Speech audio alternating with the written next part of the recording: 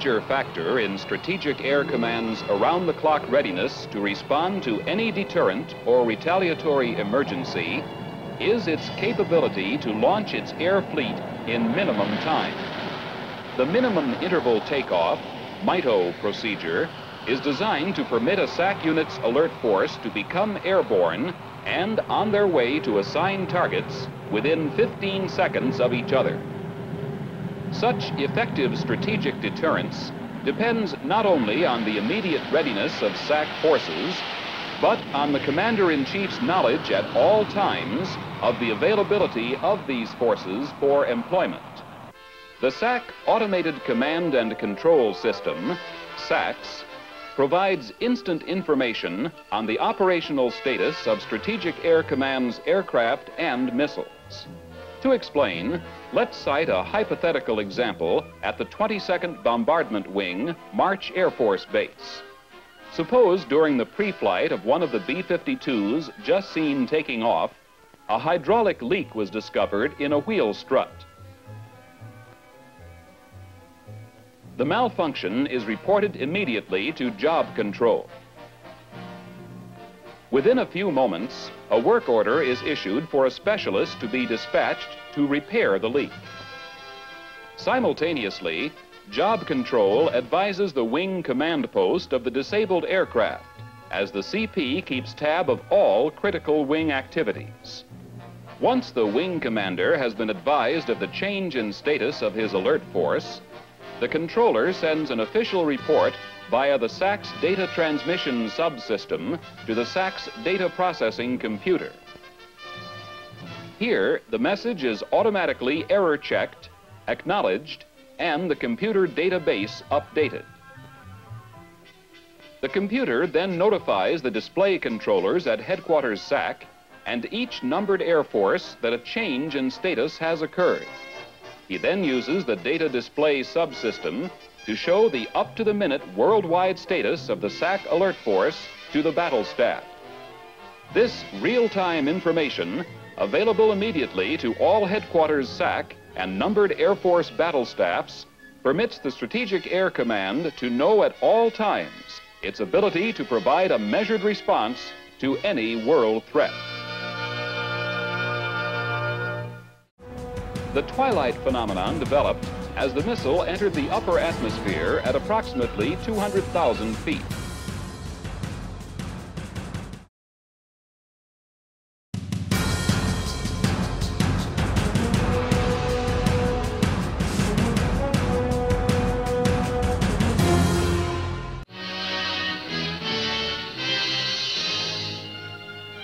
351st Strategic Missile Wing, Whiteman Air Force Base, Missouri, was one of the sites selected to conduct the Giant Plow reliability tests. Objectives were to determine the capability of Minuteman launcher closures to function after being closed for extended periods in all kinds of weather. At the test site, preparations included building a barrier of sand and dirt to prevent the door from running off its tracks when opened. A velocity meter was installed to record the data needed to determine the speed and distance traveled by the door. Giant Plow Test Director was Lieutenant Colonel Charles S. Coey. Prior to blastoff, Colonel Coey made sure that men and equipment were ready. EOD personnel were on hand to see that safety procedures were followed both before and after the test. Everything set, Colonel Coey uses a bullhorn to relay the countdown to men outside the pad area. Inside the area, Master Sergeant Sherwood, the test director's assistant, called the countdown. On signal, the door was opened and impacted against the heavy barrier. Several angles of the action, plus one in slow motion, show more clearly how the door reacted during the test.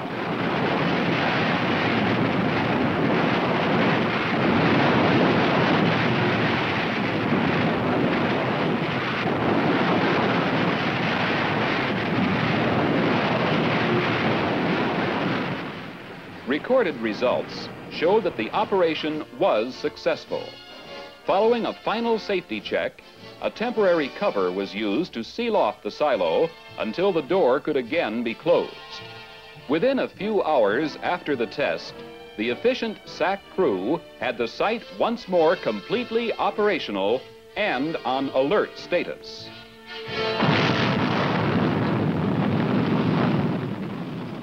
With Minuteman sites on alert status, the missiles can be launched any time of the day or night. A twilight phenomenon launch occurs just before sunrise or just before sunset. In this test, the first stage separated from the three-stage solid rocket and tumbled through the atmosphere as the second stage pushed the payload higher into space. The twilight phenomenon developed as the missile entered the upper atmosphere at approximately 200,000 feet. The gas particles and the ice crystals, which formed in the super cold environment, reflected the high altitude sunlight. Responsibility for this operation was shared jointly by SAC and the Logistics Command. The objective of this twilight phenomenon launch, known as Project Glass Pole, was to test the performance of missile components previously exposed to extremely low and extremely high temperatures.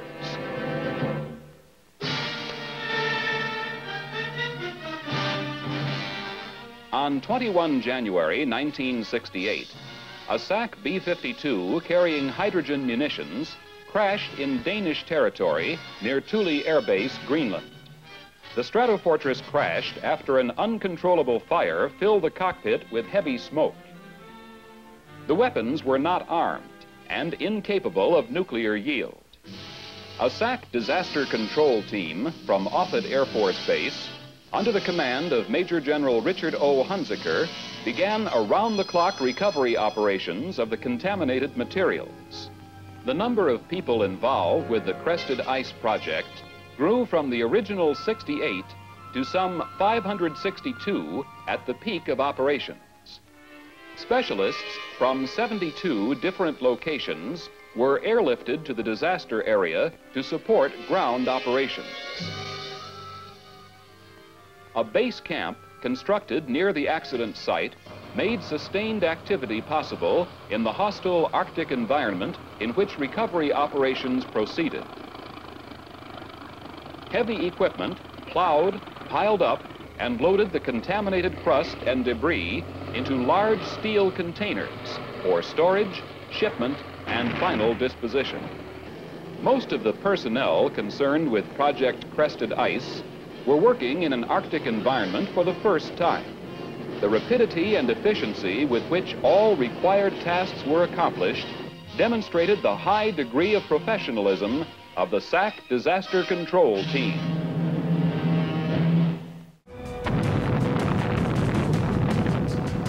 Was to have the honor of commanding the first Apollo flight to the moon when tragedy struck. Grissom, with two other astronauts, died in the flash fire which destroyed the Apollo spacecraft at Cape Kennedy during a simulated mission.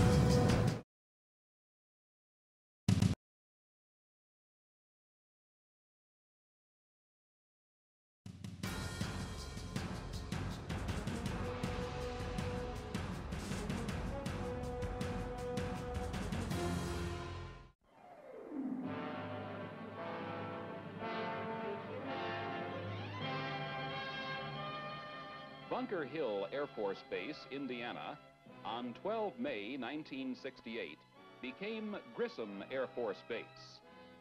The home of the 305th Bomb Wing was renamed to honor one of Indiana's native sons, the first Air Force astronaut, Lieutenant Colonel Virgil I. Grissom. During the day of the dedication, many visitors attended the ceremony, including Colonel Grissom's widow and two sons, and his parents and brothers.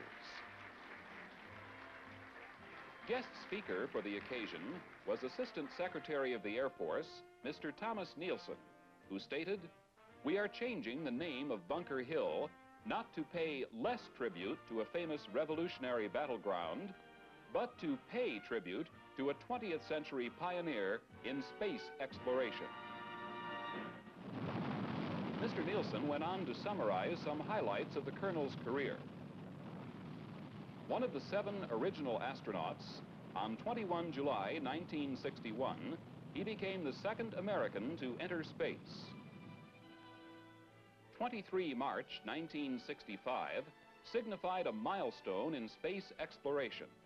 On this date, Colonel Grissom, along with Navy Commander John Young, flew our country's first three-orbit mission in the Gemini 3, and Gus Grissom became the first man to make two trips into space.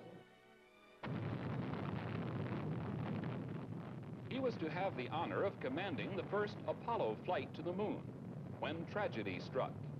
Grissom, with two other astronauts, died in the flash fire which destroyed the Apollo spacecraft at Cape Kennedy during a simulated mission.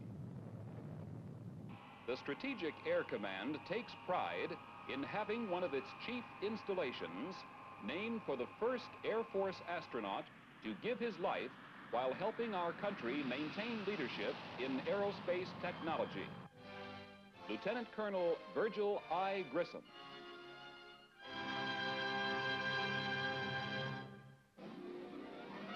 The Mackay Trophy, established in 1911 by the late Clarence H. Mackay, honors the most meritorious flight during the preceding calendar year. Presented at the Pentagon by the Air Force Chief of Staff the award for 1967 goes to a SAC KC-135 crew.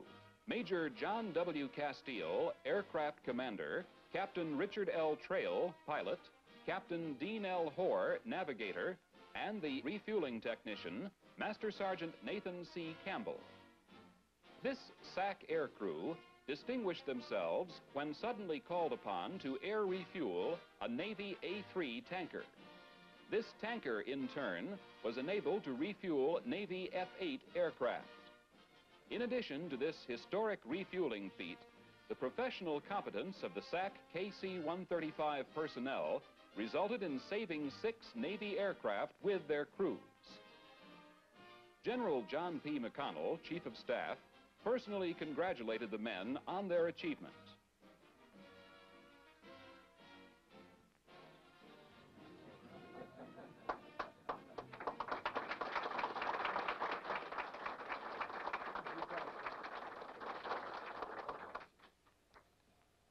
Mr. Secretary, General Lee Wade, uh, is anyone here representing the Department of the Navy? Saving six airplanes, I should think that they could have sent somebody over to represent them. But I do want to take this opportunity to express my congratulations to this crew. Uh, once again, it has been demonstrated that uh, you can uh, continue aircraft in flight if they're properly equipped for refueling. And sometimes you have to take extraordinary measures to keep some of them in flight. You have to put an extra refueler between the main refueler and the aircraft that need the need the fuel. I think this was a great thing that that uh, this crew did, and um, it's a well-deserved honor and I'm delighted to have the opportunity to present these certificates and also at this time to present the crew with the Mackay Trophy, which of course is too big for you to carry around, so we keep it here and put your names on it. Thank you very much and thank all of you for attending.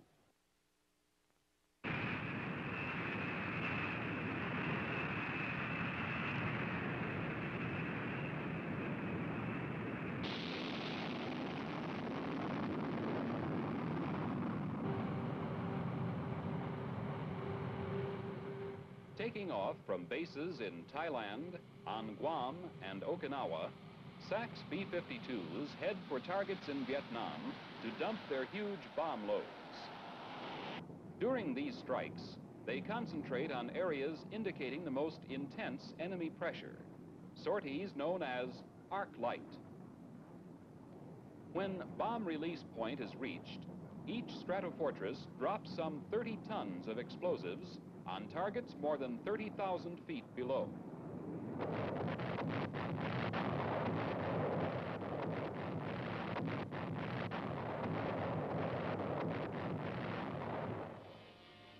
The targets show countless scars.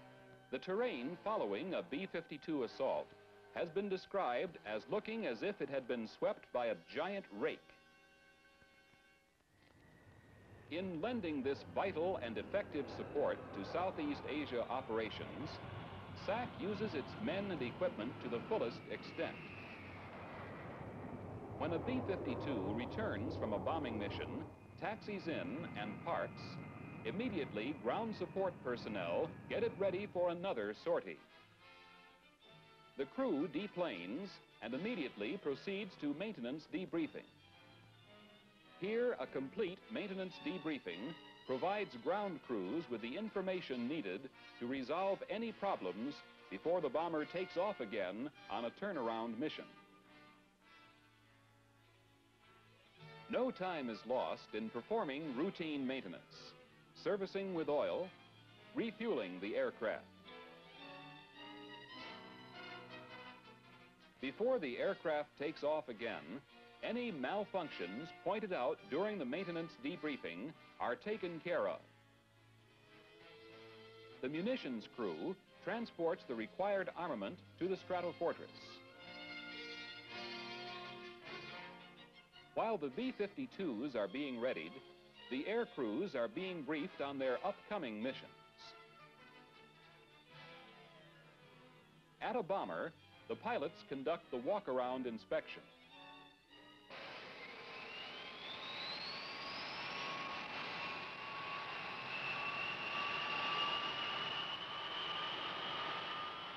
Everything ready, the B-52s taxi out and are soon on their way. Bombing accuracy and flexibility has been greatly improved in Southeast Asia since deployment of SAC's radar ground-directed bombing system. This system is known as Combat Sky Spot and is integrated into the tactical air control system. It is used by both the fighter bomber and SAC B-52s. The use of Combat SkySpot has reduced the number of pre-planned B-52 strikes. Frequently, the bombers are launched to a predetermined point, and then they receive directions to the highest priority target from the SkySpot controller. This procedure has greatly reduced SAC's reaction time in placing bombs on target. When hack is announced over the radio, the bombs are released. Three, two, one, hack.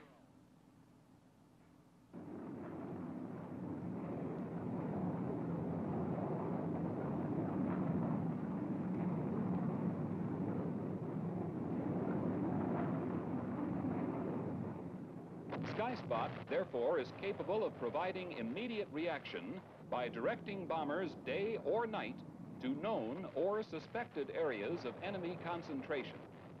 In summary, a combination of combat Skyspot and B-52s subjects enemy forces, supply areas, and lines of communication to constant threat, harassment, and destruction.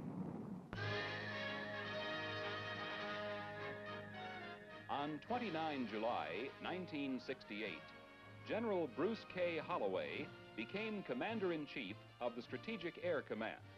General Holloway replaced General Joseph J. Nazzaro, whose new assignment is Commander-in-Chief Pacific Air Forces, Hickam Air Force Base, Hawaii.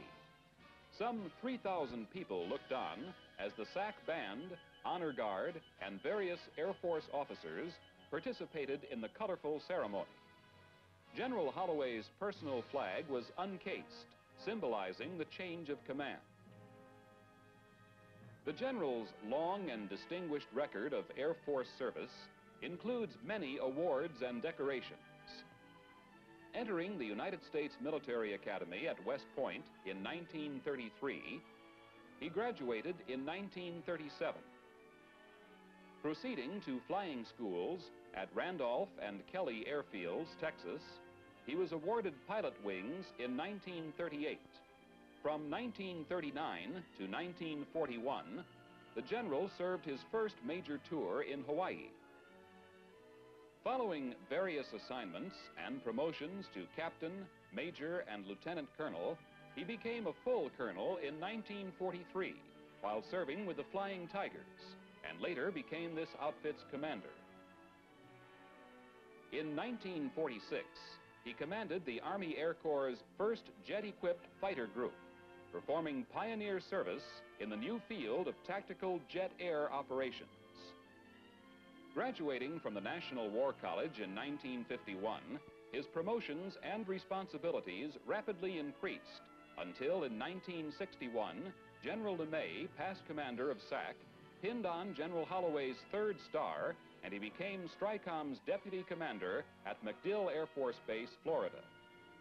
After receiving his fourth star while commanding the United States Air Forces Europe, he began his assignment as Air Force Vice Chief of Staff, serving in this capacity until becoming the SAC Commander-in-Chief.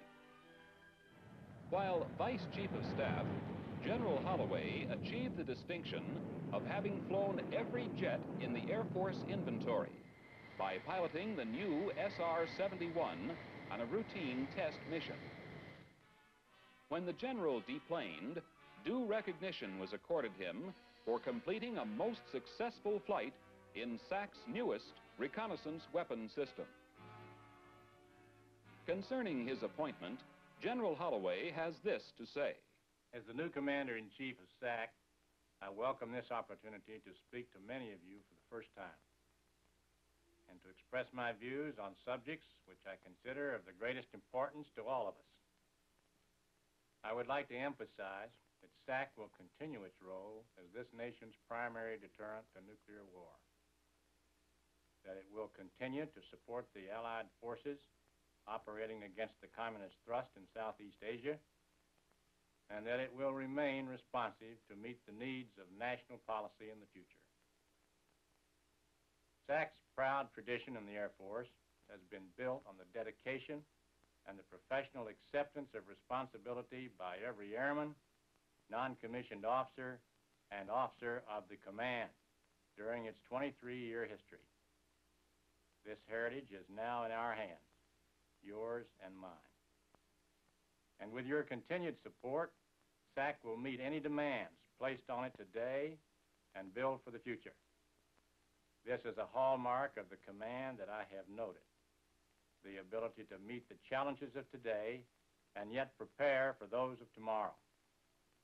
In the future, we must meet our challenges with fewer and less experienced personnel, as well as a smaller portion of the Department of Defense budget.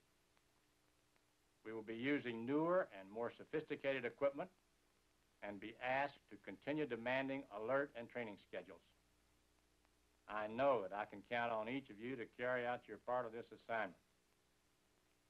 I'm especially proud to be a member of SAC, and I want to meet and talk personally with as many of you as I possibly can during the coming months.